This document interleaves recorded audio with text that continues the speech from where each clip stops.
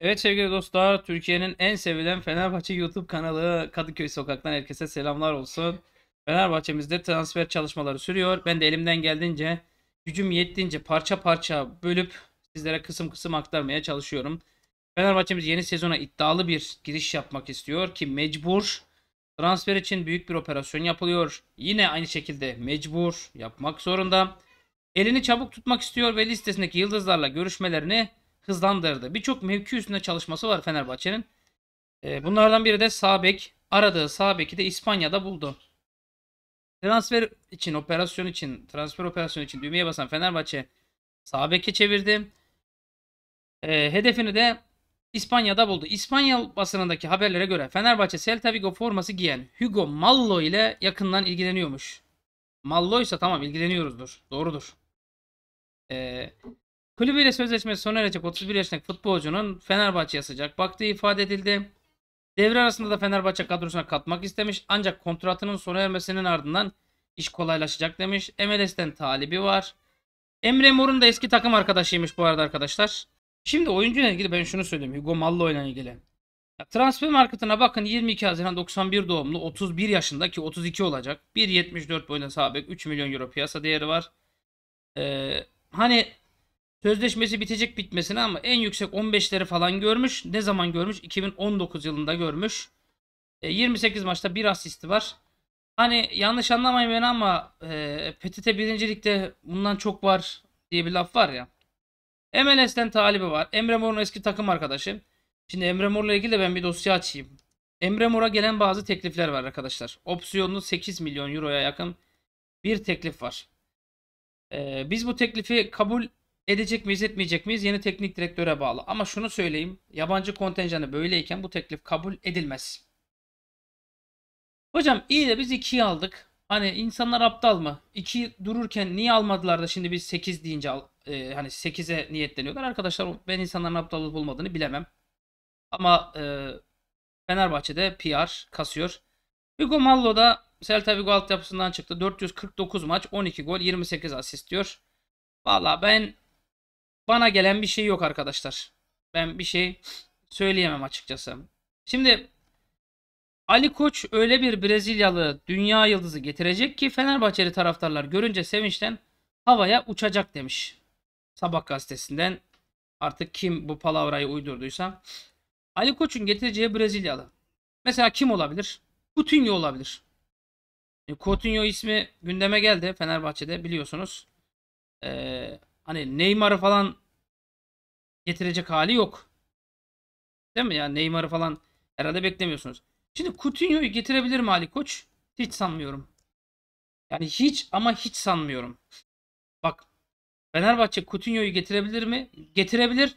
Ama Ali Koç getirebilir mi? Hiç sanmıyorum.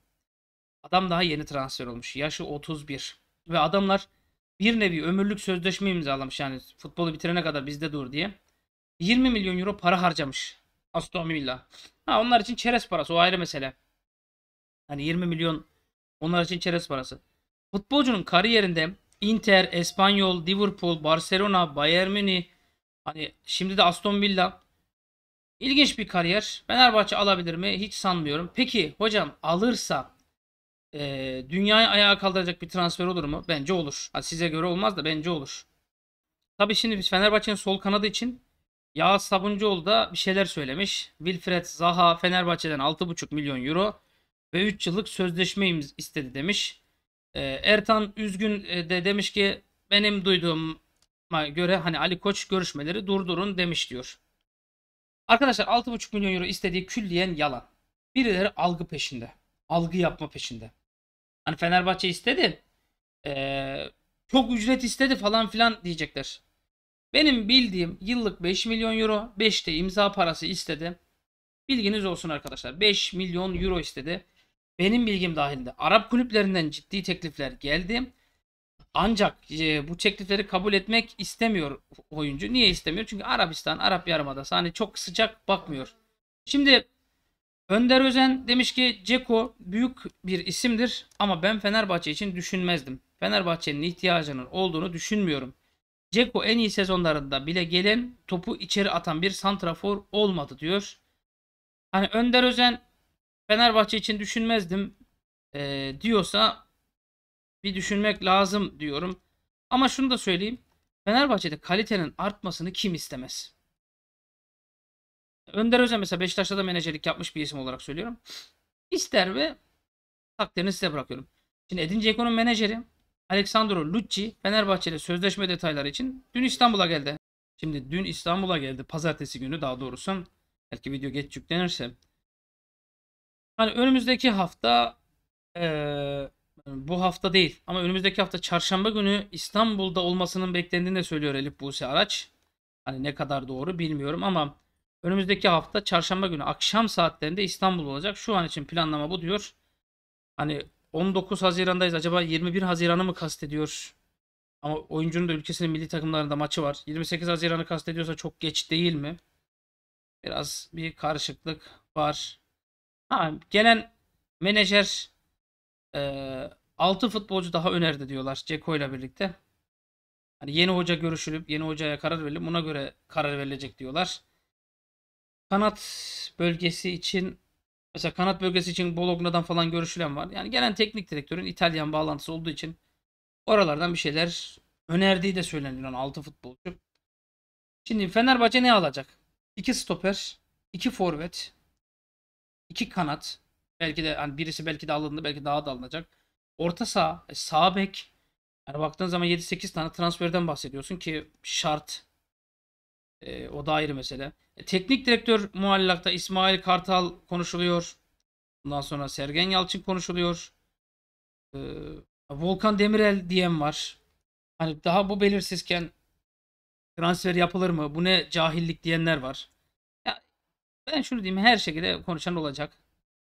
Ee, yönetim ne karar verecek? Bakacaksın arkadaşlar. Hani masada bu isimler var. Transfer için önerilenler var. Transfer için teklifler var. Hani Edin Dzeko, Coutinho, ee, ne diyordur? Sefa Atalay. Ali Bey, Edin Dzeko, Coutinho ve adama Traore'yi getirsin. Bir de Arda'yı takımda tutsun. Ondan sonra e, hangi hocanın geleceği, ne hangi hocanın geleceği konuşulur ne istifa sesleri bakın görün diyor. Ben hakikaten merak ediyorum. Adama Traore'yi aslında becerebileceğimiz bir isim. Al sağ kanada. Sola da bir sürü adam var getirebileceğin. Hani bir Coutinho'yu becerebilirsen, kiralık da olsa becerebilirsen. E Ceko'yu zaten alırsan bonservisini alacaksın sözleşmesini. Zaten bu oyuncular birbirini oynatır. Senin oynatmana bile gerek kalmaz. Bu oyuncular birbirini oynatır. Hani hep tereddütteyiz ya. Şöyle olursa böyle olursa falan diye. Aslında e, yol güzel ama biz yolu becerebiliyoruz mu? Orası da ayrı bir mesele. Ama Fenerbahçe taraftarı hep bir burun kıvırma içinde. Mesela Orsolini ismi konuşuluyor. Burun kıvırıyorlar. Bir kardeşimiz diyor ki Özgür Güralp Fenerbahçe'de Orsolini'ye bur- burun kıvıran taraftarlar ne istiyor çok merak ediyorum. Ya Zaha hani Şampiyonlar Ligi'nde forma giymek istiyor. Bu adamı getiremezsin. E Mane, Mane zaten yıllık ücreti belli. E, Bernardo Silva falan mı istiyor taraftar acaba? Hani ne istiyor? Bir kere çapımızı bilmemiz lazım. İyi hocam sen Fenerbahçe'yi vasatlığa alıştırdın. Fenerbahçe'yi vasatlığa alıştıran ben değilim. Fenerbahçe'yi vasatlığa alıştıran alıştırmanın hesabını benden sormayın. Ya sormayın. Edin Dzeko transferi. Edin Dzeko transferinde son durum ne? İşte Edin Dzeko hocam ala ala 37 yaşındaki futbolcuya mı kaldık? Fenerbahçe böyle mi şey yapacak? Yani mecbursun. Ya oyuncu İtalya'dan ayrılmak istiyor. Ya İstanbul'da Fenerbahçe ile detayları konuştu. Bilgiler aldı. Ve Türkiye Kupası'nı alır almaz Fenerbahçe transfer çalışmalarına başladı. Hemen Ryan Kent'i eee kadrosuna kattı. İrfan Can Eğribayat'ın bonservisini aldı satın alma opsiyonunu kullanarak. Şimdi forvet hattını güçlendirmek istiyor. Görüşmeler var. Fenerbahçe'nin ilgisine sıcak bakıyor oyuncu. 2 yıl için 9,5 milyon euro İtalya'da e, yıllık vergiler dahil 9,5 alıyormuş ki 5 milyon euro civarında eline para geçiyormuş. Düşünmek için süre talep etti. Vincenzo Montella'nın menajeri olan Montella'yı da öneren isim belki de bu. Belki de Fenerbahçe'nin hiç aklında yok ama Ceko'yu konuşurken işte hali hazır gelmişken bunu da getireyim. Bunu da getireyim demiş olabilir. 2 yıl içi 9'a el sıkıştı diyor. Menajeri İstanbul'da bavullarını topladı. Paradan çok projeye önem verdiğini söylüyorlar. Güçlü kadro istiyor. Ee, ve gerekli sözlerin verildiğini söylüyor menajere. Zaten menajere sözü verdiysen menajer de çoktan şey yapmıştır ki e, pazartesi gününün en çok konuşulan haberi buydu. Hani maddi konular falan filan değil. E, şampiyonluk. Bu arada Edin Dzeko Trabzonspor'da forma giyen vatandaşı Edin Vizca'dan da bilgiler almış. Milan kulübünde bu sezon 52 maça çıkan Dzeko 14 gol 5 asist yaptı. Inter'le 2 e, yıllık sözleşmesi sona erdi. Bu süreçte ikişer kez İtalya Kupası, İtalya iki, iki kez de İta- İtalya Süper Kupası'nı kazanmış. Son olarak da Şampiyonlar Ligi'nde final oynadı. Her ne kadar da takımı kaybetse de sonuçta final oynamış oldu. Fenerbahçe'den Musa Barrow hamlesi. Bu Barrow'u çok konuştular. Ee, Bologna'nın sol kanadı Musa Barrow. Fenerbahçe bu isim için harekete geçti ve Bologna ile masaya oturacak diyor. Bakın transfer isimleri ne kadar fazla. Bu da ayrı bir ironi. İddialı bir haberle gazete Della Sport Gambiyalı sol kanat Musa Barro'la ilgilendiğini söyledi. E, Kısa süre içerisinde masaya oturacak. Güncel piyasa değeri 11 milyon euro. Yani 24 yaşında 1.84 boyunda. 2025 yılının Haziran ayına kadar sözleşmesi var. Güncel piyasa değeri 11 milyon euro. 28 kez Gambiya milli takım formasını giymiş. 5 golü var. Sol kanat dışında forvet ve forvet arkasında da görev yapabiliyor. Kanat olmasına rağmen gol yollarında son derece etkili, yıpratıcı. Yani kemirgen bir oyuncuymuş. Orayı kemiriyormuş öyle söylüyor haber. Ve Fenerbahçe bir taraftan Ricardo Orsolini için e, girişimlerini sürdürürken bir taraftan da Musa Barrov ile ilgilendiği gelen haberler arasında yani 24 yaşında tipi bozuk tam bizdik. Bu sezon peki takımında ne yaptı? Sağ ayaklı 24 yaşındaki oyuncu. 35 İtalya Serie A maçı artı 3 İtalya Seri İtalya Kupası maçı. 35 maçta 3 gol 8 asist 2123 dakika. Şimdi güçlü bir Fenerbahçe kuracaksan kanatların güçlü olacak. Getirecek, taşıyacak. Bitirici de bir forvet alacaksın. O da bitirecek. Yani olay bundan ibaret. Ee, Barro bu tanıma uyuyor mu? Bence uyuyor. Bir kanat Orsolini bir kanat bu olur mu? Aslında neden olmasın. Bir de Cuadrado. Bu da çok konuşuluyor. İşte Fenerbahçe'nin Cuadrado teklifi diye. Şimdi Juventus'ta forma giyen Juan bu Juan Cuadrado için Fenerbahçe'nin teklifini sosyal medyaya, haberlere, gazetelere yansıtmışlar. 2 yıllık teklifte bulunuyor Fenerbahçe. Ve e, Alfredo Pedro'nun haberine göre Fenerbahçe Kolombiyalı futbolcuya 2 yıllık sözleşme veriyor. Bakalım ne olacak ama e, 47 maçta 2 gol 4 asist olan oyuncu pek yanaşmıyor. Şimdi biz bu kısımda neyi konuştuk? Şöyle bir toparlayalım. Hugo Mallo'yu konuştuk. Bana gelen herhangi bir duyum yok. Emre Mor'a gelen teklifleri konuştuk. Gitme niyetinde oyuncu. Ama gider mi gitmez mi? Daha hep birlikte görüp değerlendireceğimiz bir süreç. Musa Barrov ismi bana gelen bir duyum yok. Yani yoklama çektiğimize dair bir şey yok. Cuadrado şartlarını sorduk ama alacağız anlamı taşımıyor. Orsolini'nin e, Orsolini Rossi takasına çok uğraşıyoruz. Becerebilir miyiz? Bilmiyorum. Adama Traore konuşulmaz oldu. Aslında yoklama çekilebilecek bir isim ama muhtemelen daha iyi takımlar istiyordur. Avrupa piyasasında. Edin Dzeko'yla hemen hemen her konuda anlaşıldığı duyumu geldi bana. Zaha Zaha da çok yoruyor insanı. Mesela Coutinho eğer kiralık getirsen işte sağ kanada atıyorum adama Traore'yi ya da Orsolini'yi çeksen Ceko forvette Arda Güler'i takımda tutsan e, merkez orta saha şimdi Arao, Crespo, İsmail, Mert Hakan, Zayt hatta İrfan Can'ı da kaydırırsın. Lincoln'u da dahil et. Çok iyi bir havuzun var. E, sağ bek, sol bek, stoper belki bunlara hani satmadığının yerine almasan bile sırıtmaz. Aslında iyi bir kadro var elinde. İyi de bir şans var. Bakalım şansı değerlendirebileceğini. Son olarak da şunu söyleyeyim. Bana diyorlar ki sen bilmem kaç oyuncu adını verdin. Kaldı ki ben medyada ne konuşuluyorsa onu konuşup duyumlarımı veriyorum. Bakın arkadaşlar Fenerbahçe ile adı anılan futbolcular. Tek tek sayayım dinleyin bakalım. Sadece ben mi veriyormuşum? Yoksa sosyal medyada bunların hepsi konuşuluyor mu? Ben mi üretiyormuşum? Hani 50 tane futbolcu getiriyormuşum ya Fenerbahçe'ye. İyi dinleyin.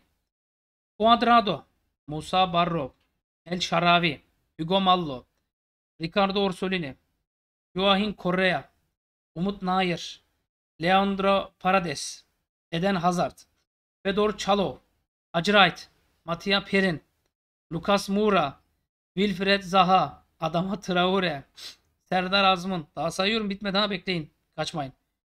Luis Muriel, Divakovic, Rodrigo Becao, Divok Origi, Mert Müldür, Duan Zapata. Bu Zakaria falan da vardı. Orta saha konuşuluyordu.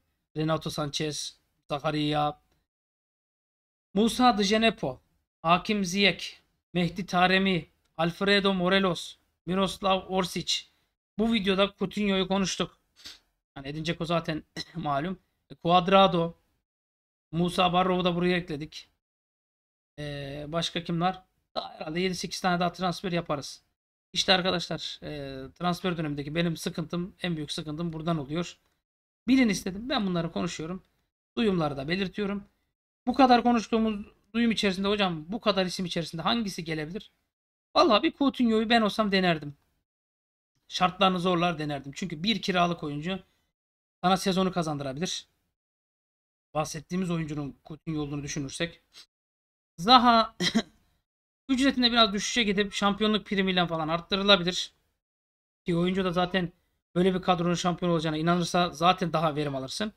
Hani durumlar bunlar, duyumlar bunlar arkadaşlar. Edin Dzeko benim için kesin alındı gibi bir gözle bakıyorum. Adama Traore keşke becerip alabilsek. Bizde iş yapar fizikli aynı Ryan Kent'in benzeri. Hakkımızda hayırlısı olsun arkadaşlar. Benim aktaracaklarım bu kadar. Görüşmek üzere.